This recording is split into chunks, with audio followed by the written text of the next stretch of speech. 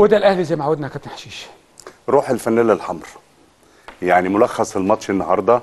طبعا النادي الأهلي يعني كان رايح بكل قوته آه عشان إحراز آه اللقب. كان متدفي بجماهير مصر الكبيرة جدا جدا اللي كانت موجودة في الاستاد كأنه حل حلوة متدفي. آه طبعا حلوة. طبعا فعلا يعني. آه ما عندكش فكرة يا دكتور ال ال الجمهور بيفرق؟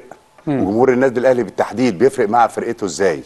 يعني تخيل النهارده مثلا الماتش ده كان على قديمه مثلا من غير جمهور بدون جمهور. كان الموضوع ما كانش كده خالص.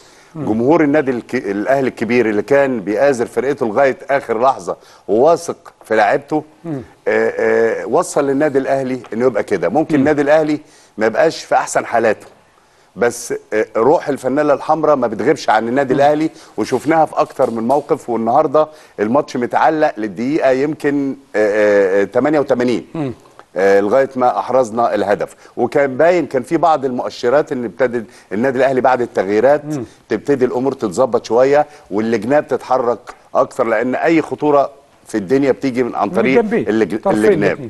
فالطرفين لما اشتغلوا كويس قوي خصوصا علي معلول في آه، آه، آه، آخر يمكن نص ساعة أو 25 دقيقة إدى للنادي الأهلي خطورة هجومية وتأثير هجومي كبير وشفنا أكتر من فرصة ضاعت.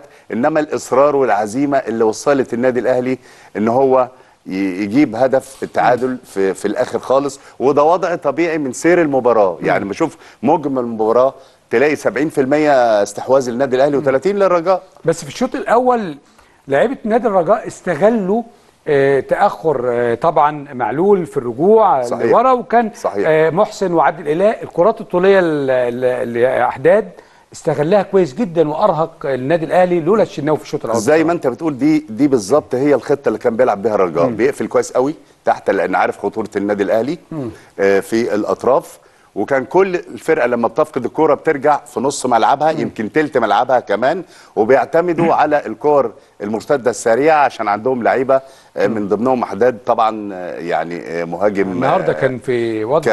هايل وكان طبعا عنده سرعات وكده وخطفوا النادي الأهلي في جون وهي المباريات دي بت- بتخلص هدف. بهدف.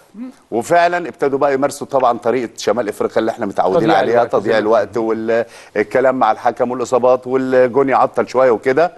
وعلى أمل إن خلاص المباراة انتهت وكل طبعا ما بيمر الوقت خلاص. آه الأهلي بيضغط بكل خطوطه فممكن كانوا يستغلوا هجمة مرتدة. الهجمة المرتدة يقتلوا الماتش خالص. إنما الحمد لله برضو كان في توازن دفاعي عند آه النادي الأهلي. بنون النهارده طبعا الحقيقة كان من الناس هو المحترمه لما رجع